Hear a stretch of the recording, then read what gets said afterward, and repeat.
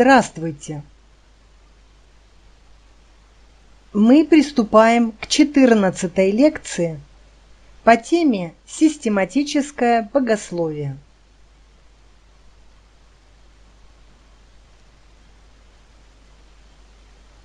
Мы продолжаем тему освящения.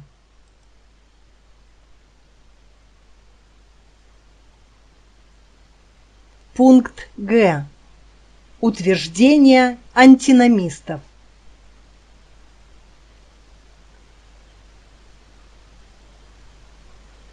Антиномисты утверждают, что верующие свободны от исполнения закона,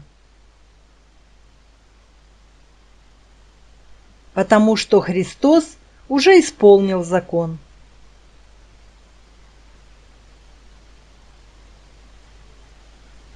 Таким образом, по их мнению, верующие Нового Завета не должны соблюдать постановления закона.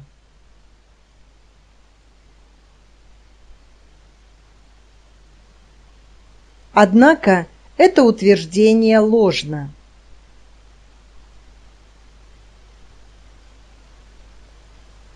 Христос побуждает верующих делать добрые дела.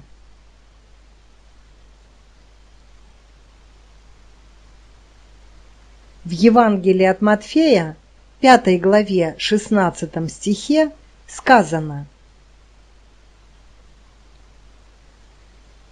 «Так да светит свет ваш пред людьми,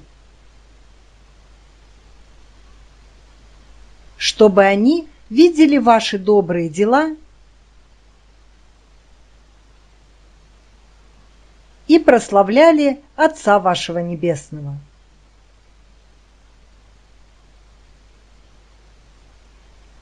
Верующие освобождены от проклятия закона,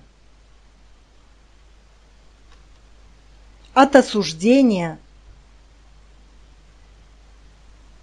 и от исполнения ритуальных законов.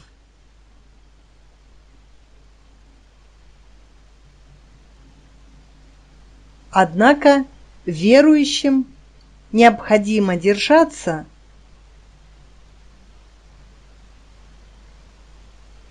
моральных стандартов закона Божьего.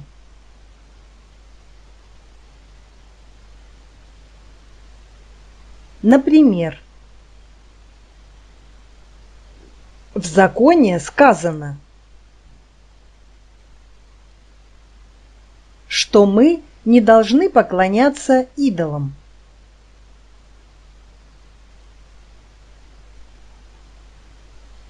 А также сказано, что мы не должны убивать. Закон запрещает прелюбодействовать.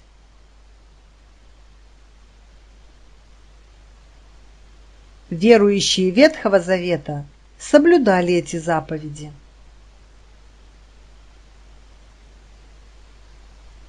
И верующие Нового Завета тоже должны соблюдать их.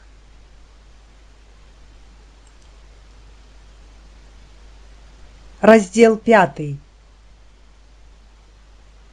Пути освящения.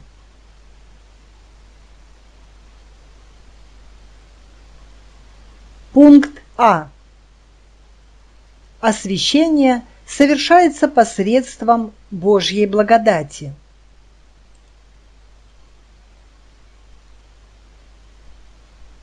Освящение совершается благодатью Бога Отца, Сына и Духа Святого.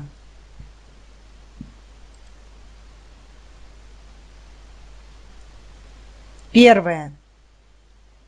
Деяния Бога Отца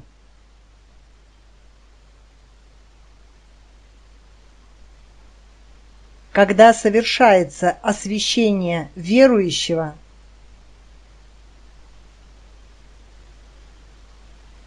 в этом проявляется действие Бога Отца.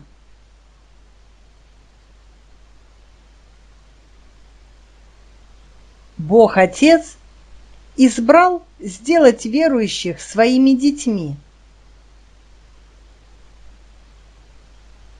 Он сделал это еще до начала сотворения мира. Послание Ефесянам, первая глава, с 3 по 6 стихи.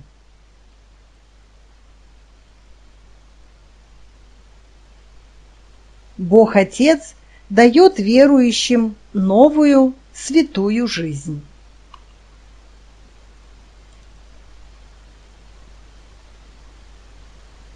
Верующие получают от Бога дар Его вечной жизни по вере.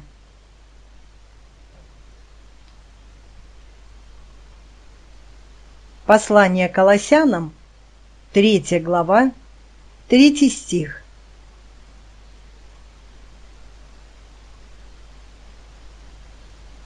Бог Отец также содействует тому,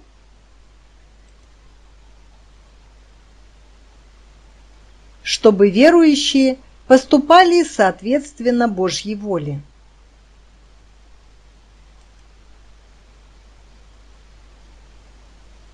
Послание евреям, 13 глава, 20 и 21 стихи говорят Бог же мира, да усовершит вас во всяком добром деле – к исполнению воли Его, производя в вас благоугодное Ему через Иисуса Христа.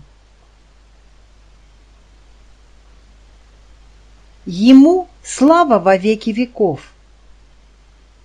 Аминь.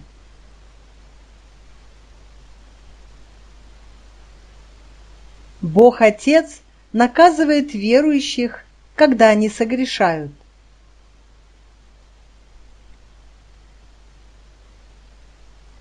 Послание евреям, 12 глава, 7 и 8 стихи, говорит Бог поступает с вами, как с сынами.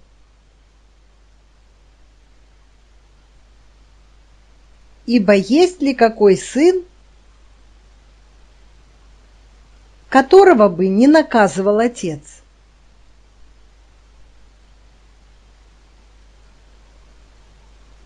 Второе. Деяние Бога Сына.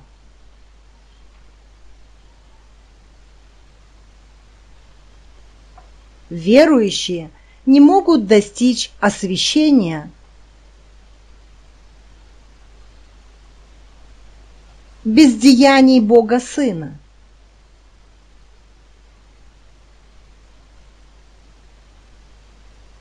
Сын искупил грехи избранных верующих.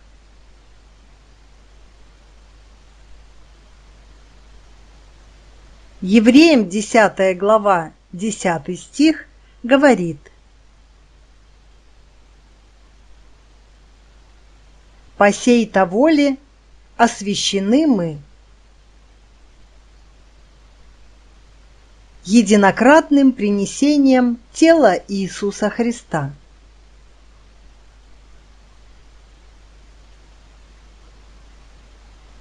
Верующие соединены со Христом через Сына.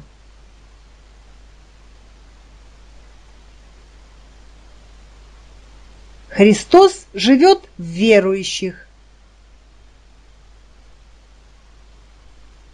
а верующие во Христе.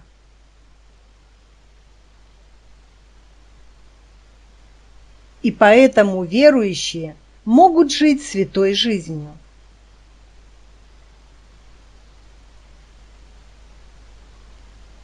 Бог Сын позволяет верующим жить святой жизнью во Христе.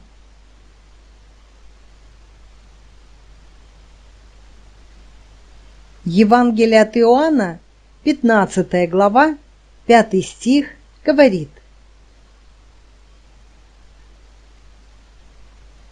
Я есть лоза, а вы ветви. Кто пребывает во мне, и я в нем, тот приносит много плода.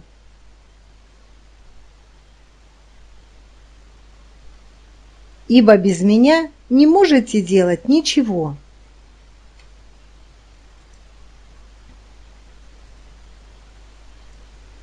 Третье. Деяния Святого Духа.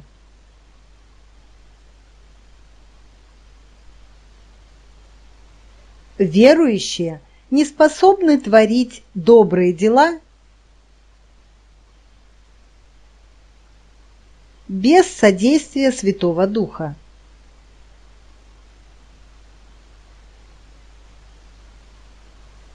Святой Дух ведет верующих к покаянию в грехах, и к вере в Евангелие.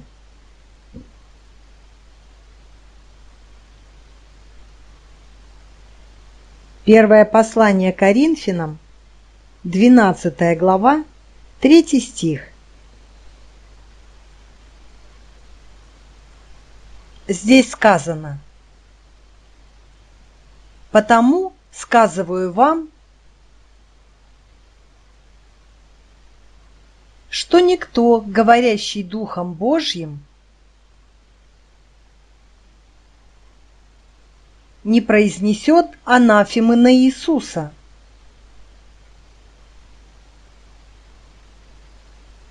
И никто не может назвать Иисуса Господом,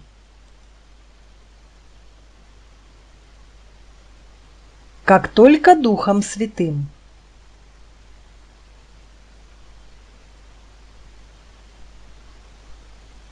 Дух Святой позволяет верующим родиться заново.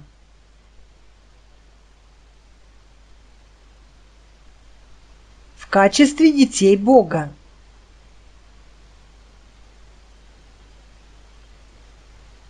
Евангелие от Иоанна, 3 глава, 5 стих, говорит –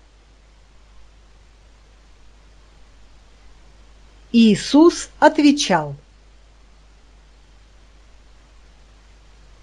«Истинно, истинно говорю тебе, если кто не родится от воды и духа, не может войти в Царствие Божие».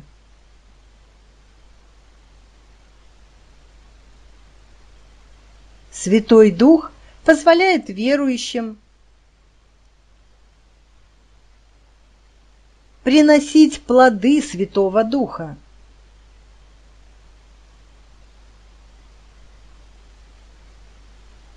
Плоды Святого Духа – это любовь, радость, мир, долготерпение, благость, милосердие, вера, кротость и воздержание.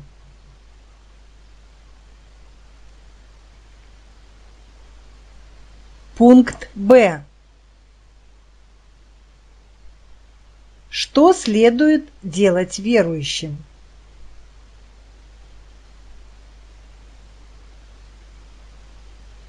Процесс освящения является действием Бога.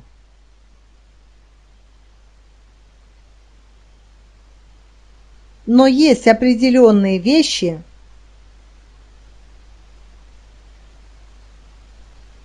которые должны делать сами верующие.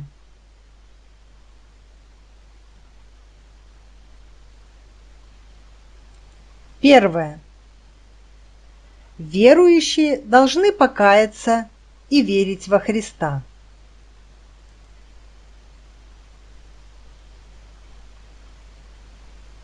Когда человек кается и верует во Христа,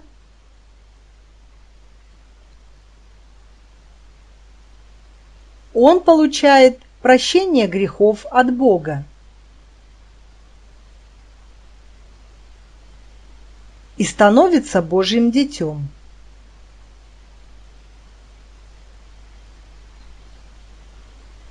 Второе.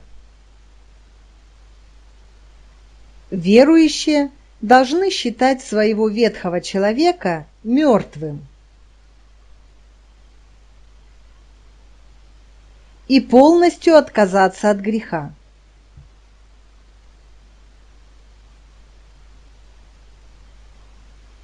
Послание Галатам, 5 глава, 24 стих, говорит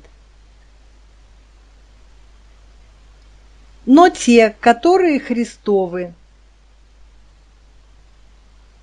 распяли плоть со страстями и похотями».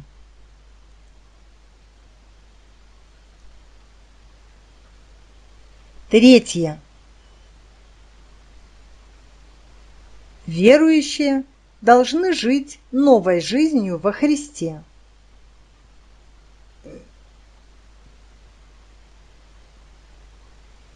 Жить во Христе означает жить под руководством и водительством Иисуса Христа.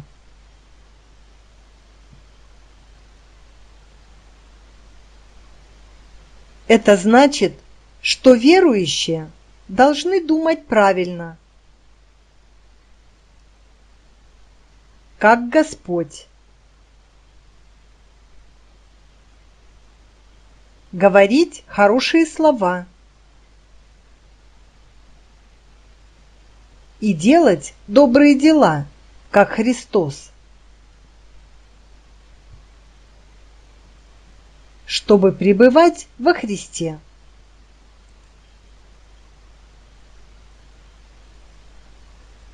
Четвертое. Верующие должны стремиться быть послушными Божьему Слову.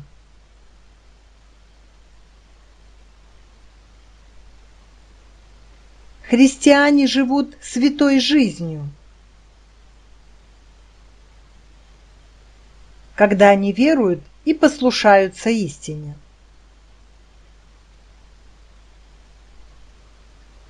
Евангелие от Иоанна, 17 глава, 17 стих говорит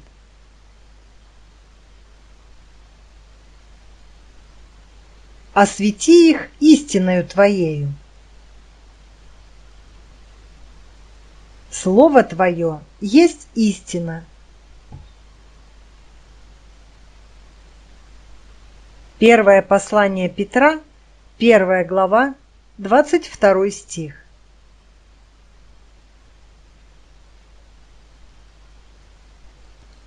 Пятое. Верующие должны стремиться молиться.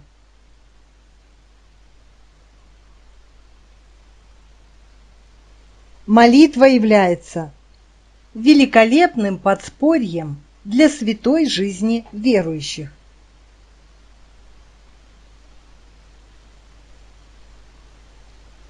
Первое послание Тимофею Четвертая глава, пятый стих. Здесь говорится, потому что освящается Словом Божьим и молитвою.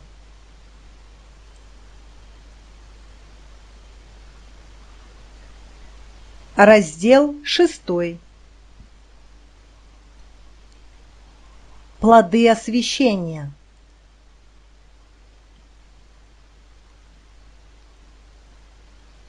Освященные верующие ходят со Христом.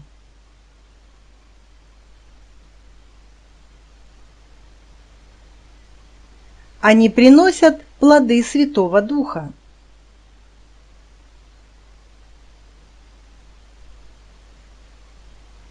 Такие христиане имеют великую любовь к людям.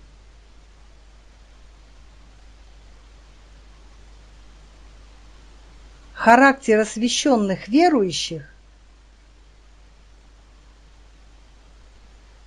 уподобляется характеру Христа.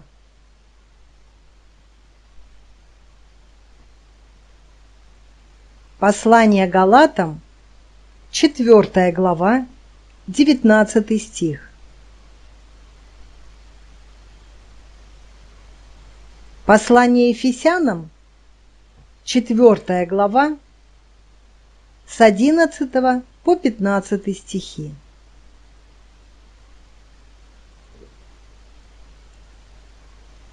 Глава восьмая. Вечное спасение.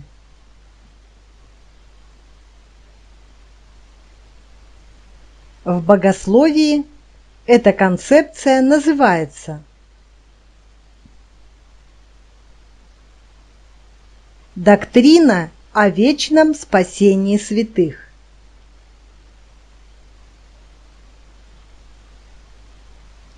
Первое. Определение.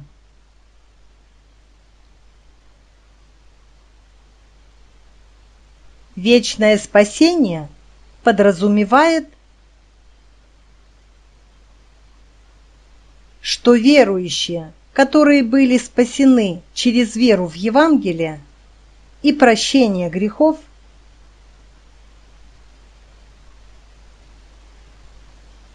никогда не потеряют своего спасения.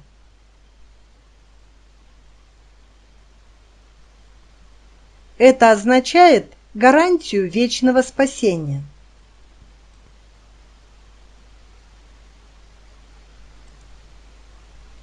Пункт А.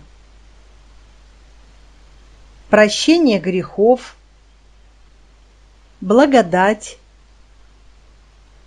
вечная жизнь, статус Божьего дитя и обетование небес необратимо и гарантированно навечно.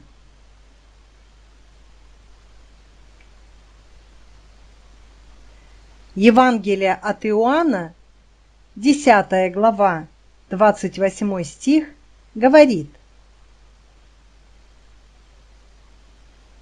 и я даю им жизнь вечную.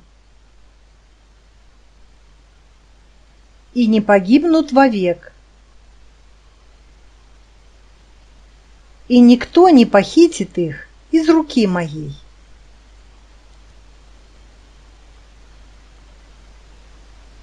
Пункт Б. Бог продолжает дело спасения – и доведет его до конца.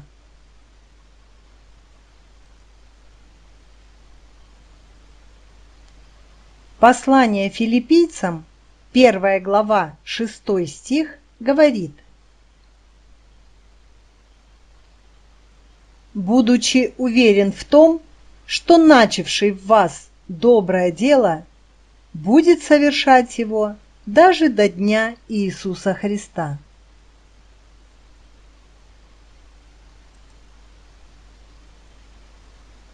Однако это не означает, что вера верующих никогда не будет ослабевать.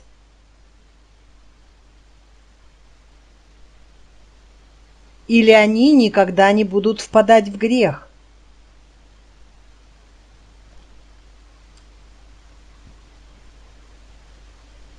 Если верующие пассивны,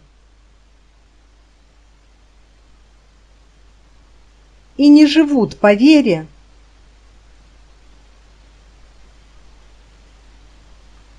их вера ослабевает.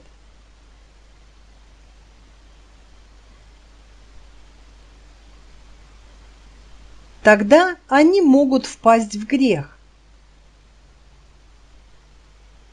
если не будут внимательны и осторожны.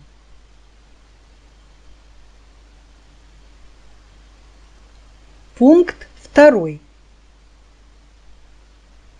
Библейское подтверждение. Пункт А. Божье предназначение спасения неизменно.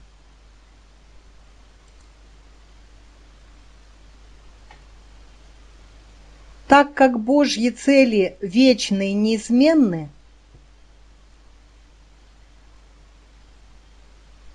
Божий план не может потерпеть неудачи.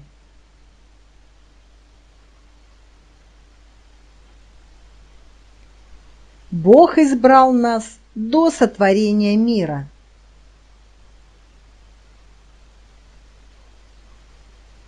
Его планы не будут сорваны.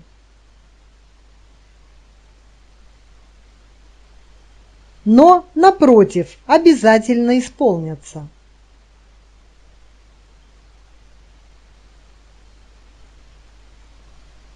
Пункт Б.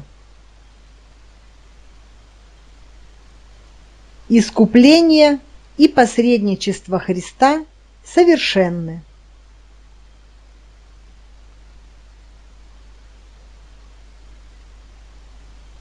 Дело искупления – совершенное Христом на кресте, завершено.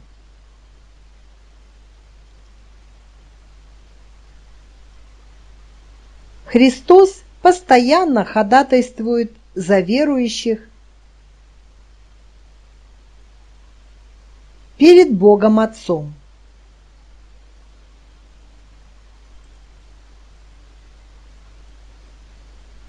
Послание римлянам – 8 глава, 34 стих говорит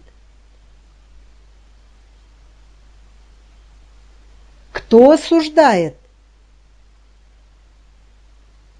Христос Иисус умер, но и воскрес. Он и одесную Бога, Он и ходатайствует за нас.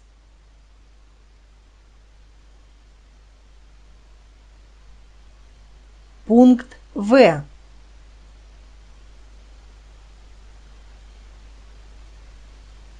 Всевышний защищает верующих своей силой.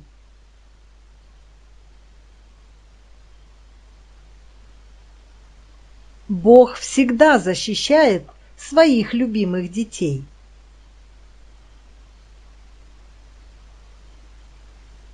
И поэтому они не могут потерять своего спасения.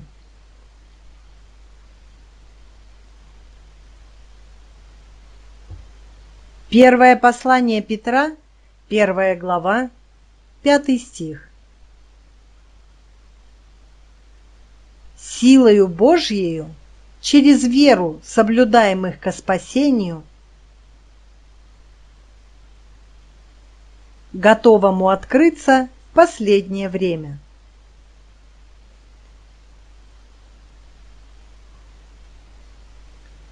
Пункт Г. Верующие получили дар вечной жизни.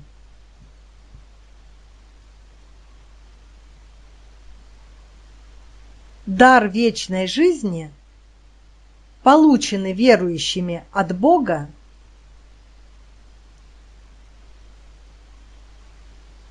является вечной жизнью во Христе.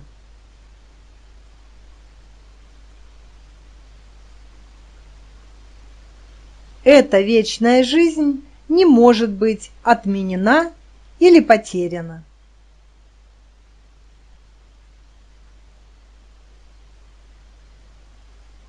Христианам дарована вечная жизнь.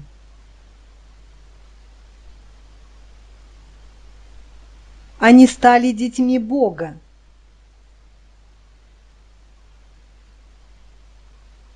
И поэтому верующие никогда не погибнут.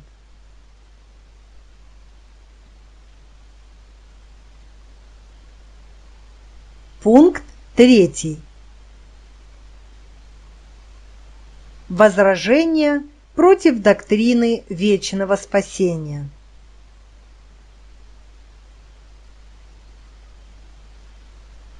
Римская католическая церковь, Сациниане, Лютеранская церковь и армяне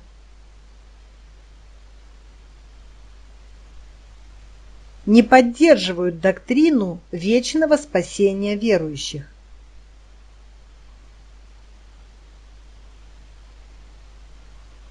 Пункт А.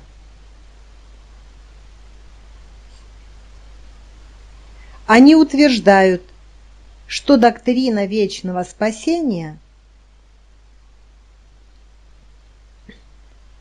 ведет верующих пренебрежительной и эгоистичной жизни.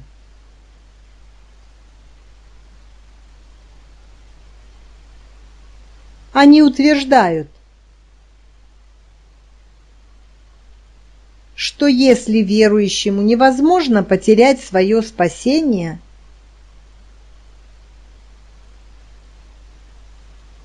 то христиане погрязнут в грехах и эгоистичном образе жизни.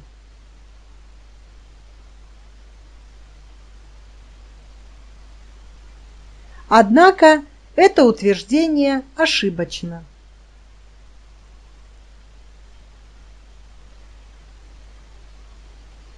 Бог запретил верующим жить ради своих собственных и эгоистичных удовольствий.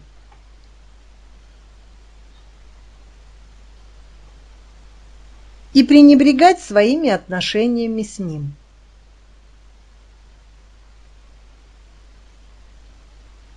Послание римлянам, 13 глава, 13 и 14 стихи.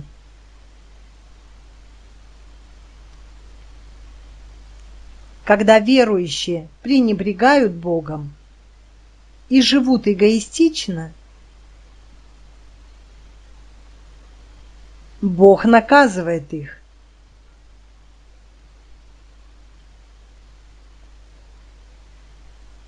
Пункт Б. Они утверждают,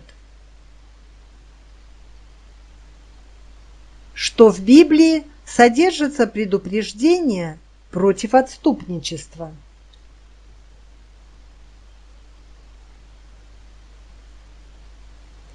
Они цитируют Евангелие от Матфея, 24 главу, 12 стих.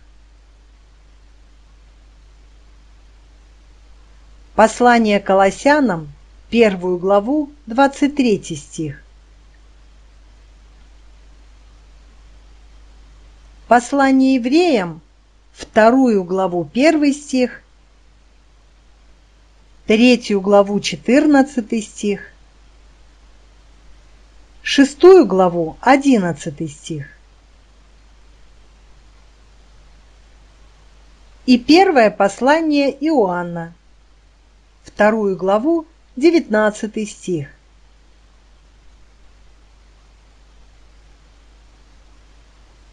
Этими стихами они подтверждают свои возражения против доктрины вечного спасения.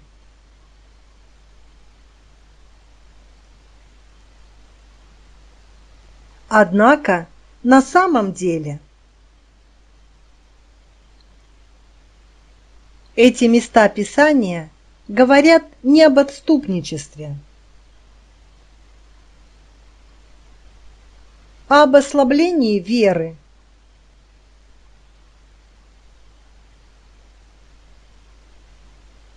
Пункт В.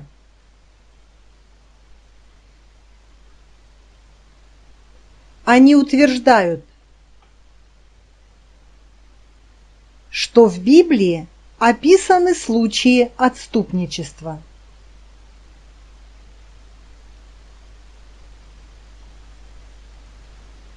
Цитируя послание римлянам 9 главу 6 стих,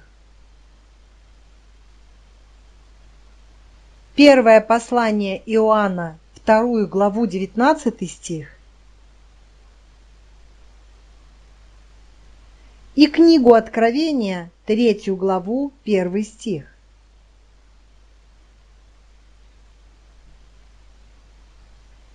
Однако эти места Писания говорят о формальных верующих, которые не были спасены. но не об истинно верующих христианах.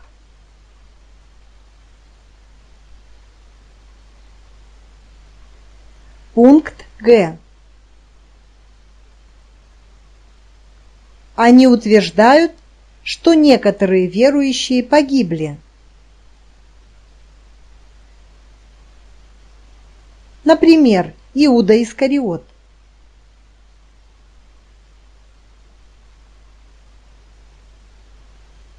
Иуда Искариот не был рожденным свыше верующим.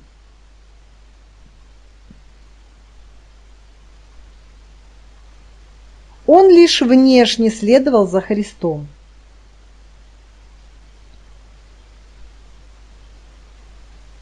Евангелие от Иоанна, 6 глава, 70 и 71 стихи.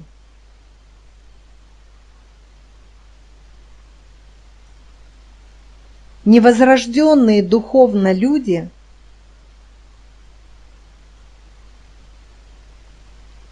могут служить в церкви,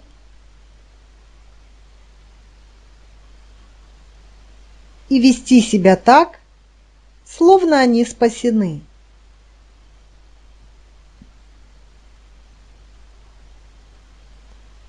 Евангелие от Матфея, 7 глава, с 21 по 23 стихи.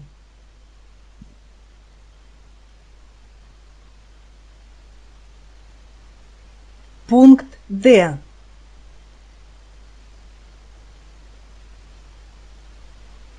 Они утверждают, что есть множество предупреждений о возможной погибели верующих.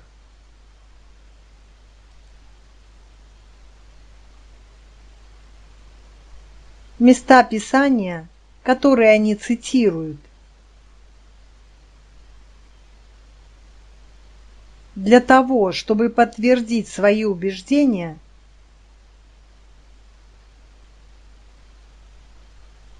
говорят не о возрожденных верующих,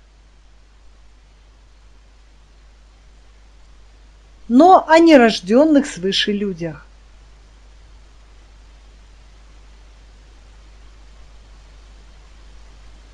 Глава 9. Пути принятия благодати.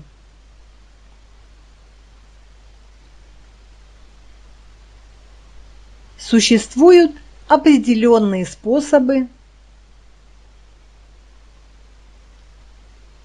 принятия верующими благодати.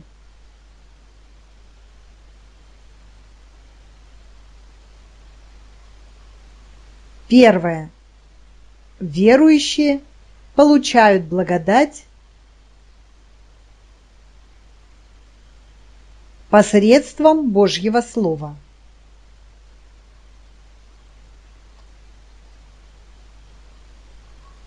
Пункт А.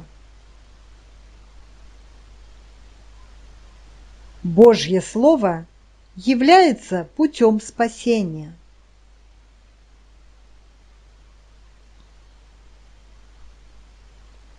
Бог спасает грешников.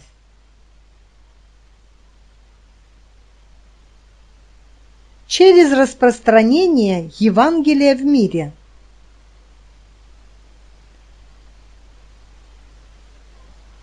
Первое послание Коринфянам Первая глава, 18 стих. Здесь сказано «Ибо слово о кресте для погибающих юродство есть, а для нас, спасаемых, сила Божья.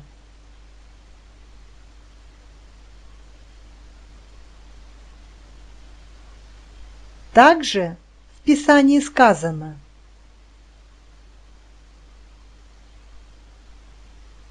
что в Божьем Слове есть мудрость и сила для спасения.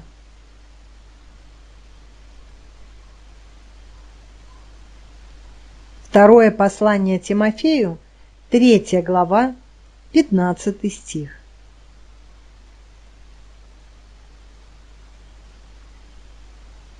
Сказано, что вера приходит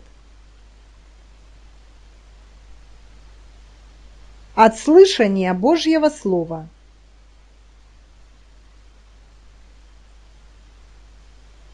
Послание римлянам, 10 глава, 17 стих. Пункт 3. Слово Божье – это путь к святости.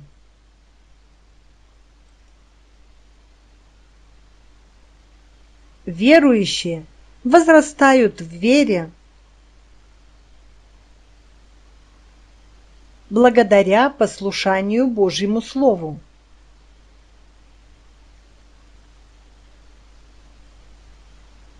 первом послании Петра, второй главе, первом и втором стихе говорится Итак, отложив всякую злобу и всякое коварство, и лицемерие и зависть, и всякое злословие – как новорожденные младенцы. Возлюбите чистое словесное молоко, дабы от него возрасти вам во спасение.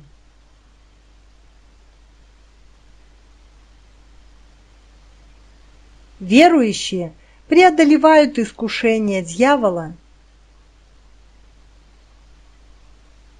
с помощью Божьего Слова.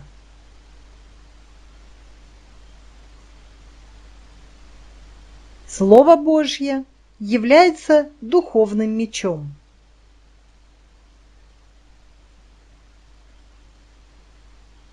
Мы, верующие, возрастаем в святости, когда поступаем в послушании Божьему Слову. Евангелие от Иоанна, 17 глава, 17 стих. Второе. Верующие принимают благодать, участвуя в христианских церемониях.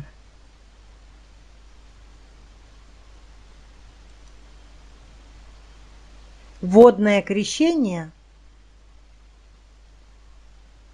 Это церемония крапления водой.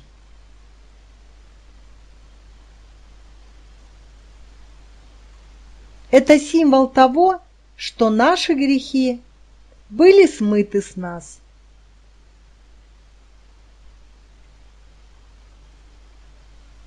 Мы получили прощение грехов. Благодаря делу искупления – совершенного Христом на кресте.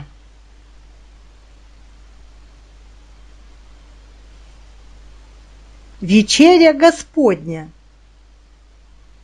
– это церемония принятия верующими хлеба и вина.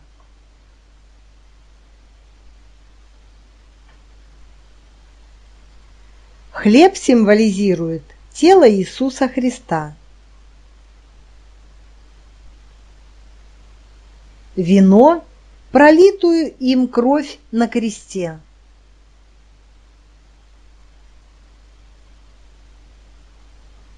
Мы получаем прощение грехов, веруя в тело и кровь Христа и в Его смерть на кресте.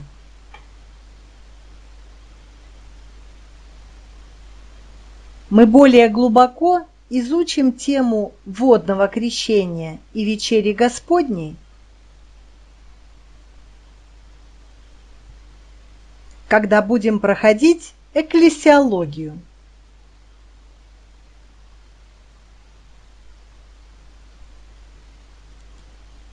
Второе. Верующие принимают благодать посредством молитвы.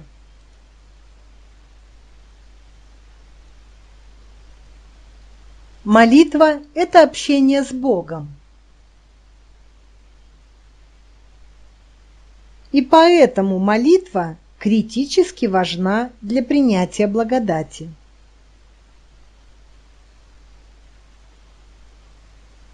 Молитва – это привилегия и обязанность верующих.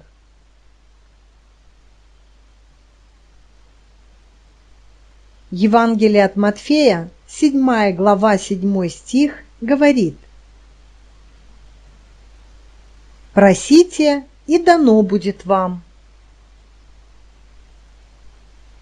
Ищите и найдете. Стучите и отворят вам.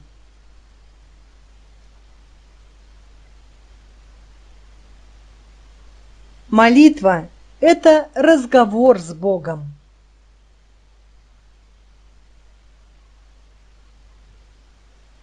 Верующие разговаривают и общаются с Богом посредством молитвы.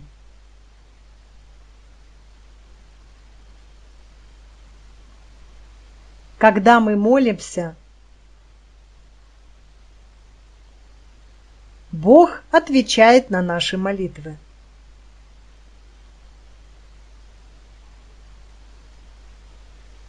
Молясь, мы в первую очередь должны каяться в своих грехах и просить прощения.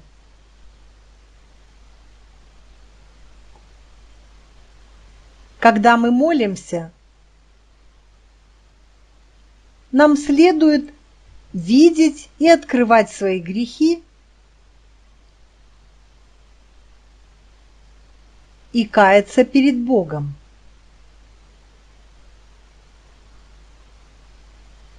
Третья книга царств, восьмая глава, сорок седьмой стих. Книга Даниила, 9 глава, с 3 по 15 стихи. Евангелие от Матфея, 6 глава, 12 стих.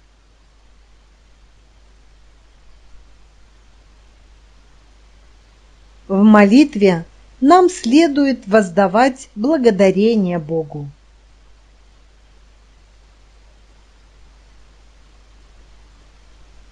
Молясь, нужно думать о благости Бога к нам, о Его благодати. И молиться Богу молитвой благодарения.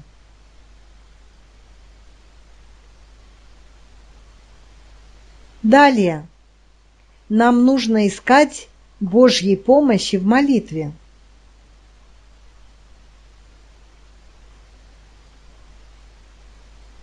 Люди слабы, и поэтому им сложно быть послушными Божьей воле.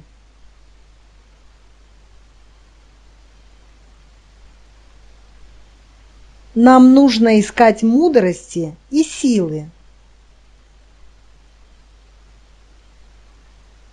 чтобы быть послушными Божьей воле.